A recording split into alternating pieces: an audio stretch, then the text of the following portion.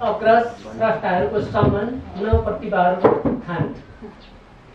दुई हजार दुई सय नौ भानु जन्म जयन्तीको अवसरमा सिर्जना व वाचन तथा कथाकार दिलीप बान्तवको कथा सङ्ग्रह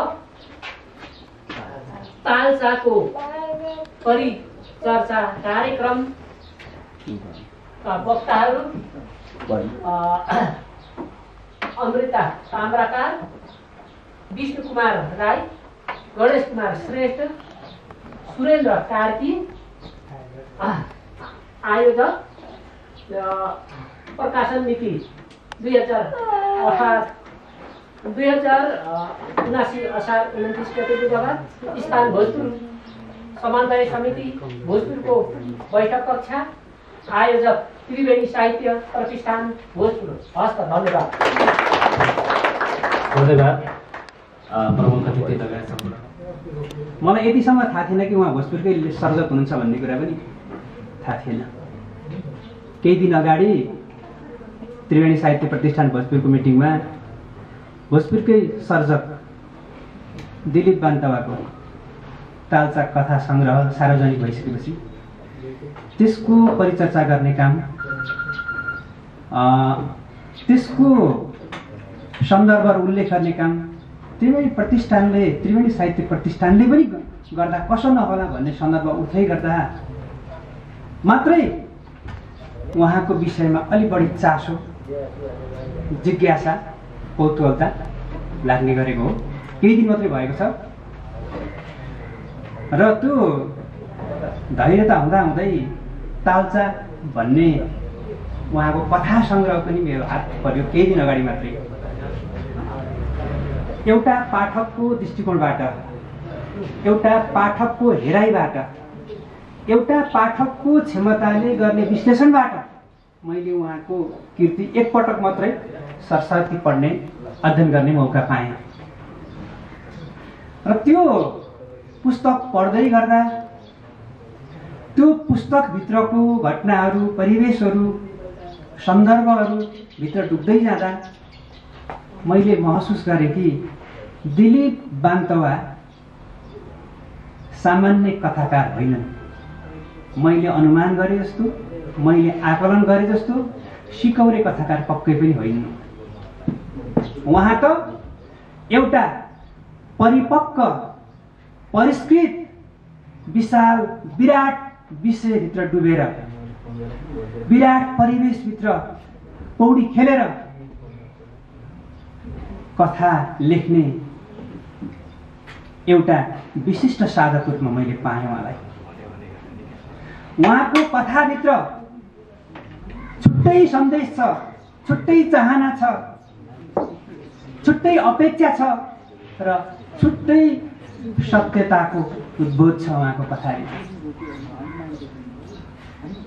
उहाँका हरेक कथाहरू यथार्थपरक छन् तर ती कथाहरू यथार्थ भन्ने बित्तिकै वस्तुगत यथार्थमा मात्रै जोडिएका छैनन्। त्यहाँ त पहिचानका कुराहरू छन्। त्यहाँ त संस्कृतिका कुराहरू छन् त्यहाँ त सभ्यताका कुराहरू छन्। जुन अहिलेसम्मको कुनै पनि कथाकारहरूले कुनै पनि सर्जकहरूले लेख्न नसकेको भेट्न नसकेको ठम्ब्याउन नसकेको विषयलाई पनि उहाँले उठान गर्नुभएको छ। त्यो तागत मैले दिलीप बान्तवामा भेट्टाएँ। दिलीप बान्तवा साँच्चै नेपाली माटो नेपाली परिवेश अझ भनौँ आञ्चलिक परिवेशलाई गहिरिएर टिप्ने र त्यसलाई सार्वजनिक गर्ने तागत राख्ने एउटा स्रष्टाको रूपमा मैले उहाँलाई भेट्टाएँ। आधुनिक नेपाली कथा साहित्यमा जब गुरुप्रसाद मैनालीले नेपाली कथा साहित्यमा एउटा लहर सिर्जना गर्नुभयो माध्यमिककालीन जासुसी तिलस्मी प्रवृत्तिलाई उछिन्दै आधुनिक कथा कला अझ भनौँ पश्चिमा कला साहित्यको मूल्य मान्यतालाई बोकेको यथार्थवादी कथा कला घटनालाई जब गुरुप्रसाद मैनालीले भित्राउनु भयो त्यस पछाडि नेपाली कथामा सृजनाका पहाडीहरू आए। नेपाली कथाले स्वर्णयुग पनि प्राप्त गर्यो। नेपाली कथामा विभिन्न खालका उतार चढावहरू आए। तर त्योभन्दा पनि बेग्लै यथार्थभित्र पनि पहिचानको चेतना बोकेर कथा लेख्ने भिन्न स्रष्टा भने मैले दिलीप बान्तवमा पाएको छु। यो एउटा मेरो पाठकको दृष्टिकोणबाट पाठकको तर्फबाट पाठकको आँखाबाट पाठकको मनबाट देखेको सत्यको म कुरा गर्दैछु। दिलीप बान्तवाको तालचा कथा सङ्ग्रहभित्र जम्मा दसवटा कथाहरू रहेका छन् र छन चाहिँ सङ्ख्यात्मक रूपमा त्यहाँ एघारवटा कथा छन्। अन्तिम कथालाई चाहिँ उहाँले पनि र हाम्रो बुझाइमा पनि कथा भनिएको छैन। मलाई लाग्छ त्यो एउटा प्रयोग पनि हो। कुनै पनि कृतिको सन्दर्भमा कुनै भूमिकाहरू हुन्छन् मन्तव्यहरू हुन्छन् उहाँले त्यसलाई प्रयोग गरे जस्तो पनि लाग्छ मलाई। हुन त समकालीन कथा साहित्यमा म किन पनि पृथक हुनुहुन्छ भन्दाखेरि अहिलेका कथाहरू अहिलेका साहित्यहरू पाठकहरूभन्दा धेरै टाढिएका पनि छन्। किन टाढिए त भन्दाखेरि अहिलेका साहित्यहरू अहिलेका कथाहरू सबै सरल पाठकहरूले पढ्ने बुझ्ने खालका सम्प्रेष्यहरू रहँदैनन् पनि। समकालीन समयका जटिलतालाई अनि यो प्रविधिको सन्तासलाई व्यक्त गर्ने क्रममा साहित्यहरू परम्परागत पाठकबाट भएको हो कि भन्ने अनुभूत पनि हुँदै गर्दा हुने गर्दछ। यसै सन्दर्भमा दिलीप बान्तावाले पनि एघारौँ कथालाई चाहिँ एउटा प्रयोग गरेको हुन् कि भन्ने मैले अनुमान गरेको छु। एघारवटा कथामध्ये पहिलो कथा रहेको छ उहाँको सातौँ इमोजी भन्ने। यो शीर्षकमा पनि एउटा प्रयोग छ यसमा। सातौँ इमोजी भनेर एउटा अलिक फरक खालको चाहिँ शीर्षक राख्नु भएको छ। र यो कथाले चाहिँ खास गरी दस वर्षीय जनयुद्धको घटनालाई प्रसङ्गलाई परिवेशलाई बोकेको छ र यसले तत्कालीन समय सत्यलाई उद्घाटन गरेको छ। परिवर्तनका पक्षमा लड्नेहरूको सपनाभित्रको विश्वासको विघटनलाई यसले तन्दुरुस्त रूपमा उपस्थित गरेको छ। यो कथामा पूर्व कमान्डर सशस्त्र द्वन्द्वकी पूर्व माओवादी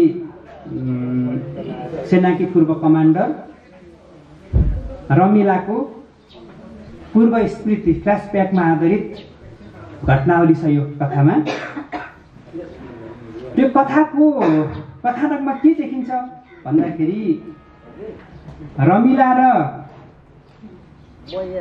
श्रमण दुवैजना जनयुद्धका कमान्डर सङ्घर्षकै मैदानमा उनीहरूको भेट हुन्छ। त्यस पछाडि जिल्लामा सेनाहरूको विरुद्ध आक्रमण गर्ने सिलसिलामा उनको प्रेमिका श्रवणको प्रेमिका श्रवणले शहादत प्राप्त गर्छन्। र त्यसै सन्दर्भमा केही समय पछाडि बैसठी त्रिसठीको आन्दोलनको सन्दर्भ छ यहाँ। आन्दोलन रोकिन्छ। शान्ति प्रक्रियामा देश रूपान्तरण हुन्छ र द्वन्द्वका कुराहरू सबै विसर्जित हुन्छन् भने यता रमिलाभित्र एउटा नमिठो पीडा नमिठो सत्यहरू चाहिँ जीवित रहन्छ। किन भन्दाखेरि उनी गर्भवती हुन्छन्। र यही प्रसङ्गमा उनलाई माइतीहरूले पनि हेला गर्छन्। बच्चा जन्मिन्छ र आफ्नो माओ पार्टी सशस्त्र द्वन्द्वमा जसको पक्षबाट लडेकी थिइन् माओ पार्टी उसले पनि वास्ता गर्दैनन्। उनी घर घाटी जस्तै हुन्छ जीवनमा एक खालको निरीयता एक खालको भत्कोस एक खालको सङ्कट एक खालको असन्तुष्टि एक खालको पीडा बोकेर रमिलाको जीवन बित्दै गर्दा उनले जीवन सङ्घर्षको लागि आजको यस कार्यक्रमको सञ्चालक त्रिवेणी साहित्य प्रतिष्ठानका सचिव यस कार्यक्रमको अध्यक्षज्यू प्रमुख अतिथिज्यू विशेष अतिथिज्यूहरू अतिथिज्यूहरू पत्रकार सञ्चारकर्मी मित्रहरू लगायत विभिन्न ठाउँबाट यस कार्यक्रमको लागि आउनुभएका सम्पूर्ण साहित्यिक मनहरू साहित्य अनुरागी महानुभावहरूमा म एलबी प्रधानको तर्फबाट हार्दिक नमस्कार छ। मैले जम्मा जम्मी या तिनवटा रचना वाचन गर्ने हो तर अलिकति सन्दर्भ पनि जोडिएको हुनाले थोरै कुरामा छोटोमा राख्छु यो तपाईँसँग चाहिँ म यो अनुमति चाहन्छु। मैले अघि परिचय खण्डमै भनेको थिएँ दिलीप बन्द मेरो छिमेकी हो। पहिले हामी सुदूर दक्षिणको रानीवस भन्ने गाविसको एउटै गाविसको बासिन्दा हो। अहिले हत्तगढी गाउँपालिकाको दुईवटा वडामा परेको छ रानीवस गाविस अलिक ठुलो भएको हुनाले दुईवटा वडा छ। अहिले म हत्तगढी एकको बासिन्दा हो। बन्द हत्तगढी दुईको बासिन्दा हो। म उहाँभन्दा केही उमेरले पनि र पढाइमा पनि सिनियर हो। तथापि एउटै गाउँको भएको हुनाले उहाँसँग चिन्जान हुने नै भयो। उहाँसँगको फेरि सन्दर्भ जोड्ने भनेको साहित्य नै हो। म पनि अलिअलि साहित्यमा रुचि राख्दै गर्ने मान्छे म पनि अलिअलि लेख्न रहर गर्ने मान्छे। त्यस त्यसो भएको हुनाले पनि उहाँसँग मेरो नजिकको सम्बन्ध छ। म साहित्यको पनि उहाँको छिमेकी नै हो। त्यस कारण मैले अघि खान पनि छिमेकी बनाएर हो। हत्तगढी हजुरको सदरमुकामदेखि सुदूर दक्षिणको एकदम विकट इलाका हो सबैलाई थाहा छ। तपाईँहरू मध्ये पनि आधाभन्दा बढी हत्तगढी टेक्नु पनि भएको छैन होला। पुग्नु भएको छैन होला। कति पुग्नु पनि भएको छ होला। तथापि हामी हत्तगढीलाई अहिले ट्रान्जिट पोइन्ट बनाउने त्यो मुख्य बाटो बनाउने ध्यानमा छौँ। त्यसो हुँदाखेरि तपाईँहरूसँग हाम्रो भेट अझ नजिक हुनेछ। तर आजको सन्दर्भमा दिलीप बान्तावाले चाहिँ आफ्नो कथा कृति मार्फत लेखेको कथाहरूले तपाईँहरूको समक्ष हाम्रो भेट गराएको छ। कथा कृतिबारे कथाको कथाहरूबारे विशेषज्ञहरूले यस सन्दर्भमा अग्रज साहित्यकारहरूले अग्रज शिक्षकहरूले प्राध्यापकहरूले धेरै कुरा भनिराख भनिसक्नु भएको छ यसमा यसमा थप गर्न चाहन्न यसलाई दोहोऱ्याउन चाहन्न त्यसमा थप के छुटेका कुराहरू म राख्न चाहन्छु यहाँनिर दिलीप लालचा कथा सङ्ग्रह हालचाको चाहिँ कार्यक्रम राखेर थपेरै ताजा कथा सङ्ग्रह विमोचन गर्नु भएको छ निकाल्नु भएको छ। यसको काठमाडौँमा विमोचन भयो। उहाँको गृहभूमि भएको हुनाले हत्तागढी गाउँपालिकामा गृहभूमिमा सार्वजनिकीकरण तथा विमर्श कार्यक्रमहरू हामीले फागुनतिरै गरेका छौँ। र दक्षिण कोरिया पनि अहिले उहाँ कर्मभूमि दक्षिण कोरियामा हुन्छ। उहाँ पनि विमोचन भएको छ सार्वजनिकरण भएको छ। कहिलेकाहीँ चर्चा चल्ने गर्छ? अघि पनि आयो। त्रिवेणी साहित्य प्रतिष्ठान। पुरानो संस्था ऐतिहासिक साहित्यिक संस्था भए पनि दुई हजार एकाउन्नसम्म दर्ता भए पनि बिचमा चाहिँ केही ग्यापहरू भयो यसको गतिविधिमा र समग्र जिल्लामै केही साहित्यिक गतिविधि कम भएकै हो।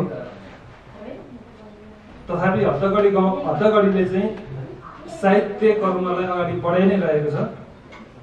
यसलाई चाहिँ हत्तगढी गाउँपालिकाले पनि हत्तगढी गाउँपालिका भए पछाडि पनि हत्तगढी गाउँपालिका नहुँदा पनि गाविसै हुँदाखेरि पनि हसनपुर गाविस गाविसहरू चाहिँ साहित्यको लागि भनेर। कोही उत्पादनमूलक क्षेत्र होइन भनिन्छ तथापि पनि उहाँहरूले चाहिँ साहित्यलाई माया गरेर अपरोत्व गरेर चाहिँ बजेट विनियोजन गर्नुहुन्छ। त्यसकारण नै त्यहाँनिर पाँचलेपानी साहित्य प्रतिष्ठान सक्रिय छ हसनपुर साहित्य प्रतिष्ठान सक्रिय छ अन्य संस्थाहरू पनि सक्रिय छ र हत्तगढी गाउँपालिका बनिसके पछाडि हत्तगढी गाउँपालिकाका आदरणीय अध्यक्ष प्रेम कुमार राईले आफैले इनिसिएसन लिएर आफैले अग्रसरता लिएर हत्तगढी कला साहित्य तथा सांस्कृतिक प्रतिष्ठान भन्ने चाहिँ त्यहाँ गठन भएको छ। त्यसमा हामीले पनि चासो राखेका छौँ लेख्ने गर्ने हुनाले। हुजुर जिल्ला साहित्यको लागि उर्वर भूमि हो। राजनीतिको लागि पनि यो उर्वर भूमि हो। हुजुर जिल्लाले धेरै नेताहरू जन्माएको ठुल्ठुलो नेताहरू जन्माएको छ। ठुल्ठुलो साहित्यकारहरू जन्माएको छ। त्यसको पश्चात मात्रै हामीले पछ्याइरहेका छौँ।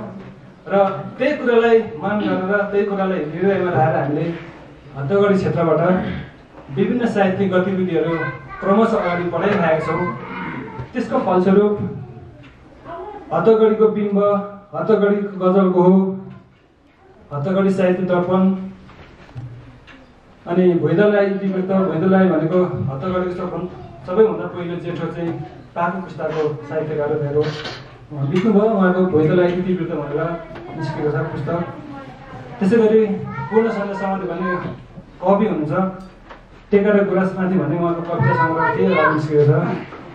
यसै गरी पछिल्लो चरणमा तालसा कथा सङ्ग्रह निस्केको छ। यसको अहिले विश्वव्यापी चर्चा भइरहेको छ। र पछिल्लो कालखण्डमा केही हप्ता मात्रै भयो कथाकार लघु कथाकार म्यामराज रहेको हाम्रो बाटो भन्ने कथा कृति लघु कथा कृति यसरी हामीले साहित्यको यो राष्ट्रिय तहमै हत्तगढ योगदान मिसाइरहेको छ। हजुरले पनि यो क्रमलाई बिचमा केही ग्याप भए पनि यसरी अगाडि बढाउनु भएकोमा हामीलाई खुसी लागेको छ। म आफै पनि लेख्ने रहर गर्ने भएको हुनाले त्रिवेणी साहित्य प्रधानको अध्यक्ष सुभाष विकास घमचन्द्र दाल सङ्ग्रामजीहरूसँग चाहिँ म पेसागत हिसाबले पनि अगाडि नजिक भएको हिसाबले हामी फेरि यहाँ जोड्यौँ। यसले गर्दाखेरि हामीलाई पनि लागेको छ अब भोजुर फेरि एकचोटि ठुलो पोखरी साहित्यिक क्षेत्र हुन लागिरहेछ अनि अर्को हाम्रो आजको वक्ता विष्णु सरले भन्नु भन्नुभएको थियो। दिलीप पान्द्रा चाहिँ कालो मन्दाईको र बाँचीमा रहेको आमाको नाम हामीले त्यसरी मैले अहिले सोधेको ल्याएको छु? कालो मन्दाई र बाँचीमा रहेको सुखदुरमा राम्रो विश्लेषण गरिदिनु भयो सबै वक्ताहरूलाई म हत्तगढीको भएको नाताले कथाकार दिलीपजीको छिमेकी भएको नाताले एउटा साथी भएको नाताले होइन हाम्रो तर्फबाट तपाईँहरूलाई धेरै धेरै हामी तपाईँको आभार भनेर व्यक्त गर्छौँ। र अब यो सन्दर्भमा म दुई सय नौ भानु जयन्ती छ। नेपाली साहित्यको लागि लाग्नुहुने त्यसको लागि लाग्नुहुने भानुभक्त आचार्यलाई स्मरण गर्न चाहन्छु। यसै गरी आज गुरु पूर्णिमा पनि हो। कतिसँग ताजा कथाकृति हातमा छ कतिसँग छैन। त्यो भूगोलमा नपुग्नु भएको छ तर ताजा कथाकृति पढ्नु भयो अध्ययन गर्नुभयो भने तपाईँलाई कहिले सरल र हत्ता क्षेत्र चाहिँ घुमिरहेको महसुस हुन्छ अनुभव हुन्छ। स्वाभाविकले दिलीप पान्त किराँत समुदायको सदस्य हो। हत्तगढी क्षेत्र मास किराँत भन्ने भनिने ठाउँ हो। एउटा आफ्नो छुट्टै पहिचान बोकेको ठाउँ हो। थुप्रै कथाका कथानकहरू कथावस्तुहरू कथाको प्लटहरू त्यहीँबाट त्यो भोगाइबाट त्यो हेराइबाट चाहिँ सिर्जना भएको छ। दसवटा कथाहरूमध्ये सम्पूर्ण कथाहरू जस्तै नै यथार्थमा आधारित कथा छ। त्यसलाई सामाजिक यथार्थवादी कथा पनि भन्न सक्यो। खालि के मात्रै छ भने कथावस्तु सबै वास्तविक हो? कथावस्तु वास्तविक हो पात्रहरूको नाम मात्रै फरक हो। दसवटै कथाहरू छ। दिलीप बान्धव कतिपय कथामा दिलीप बान्धव आफै पात्र हो। कतिपय कथामा दिलीप बान्धवको परिवार पात्र हो। कतिपय छिमेकीहरू सम्पूर्ण कथाहरू त्यसमा आधारित छ।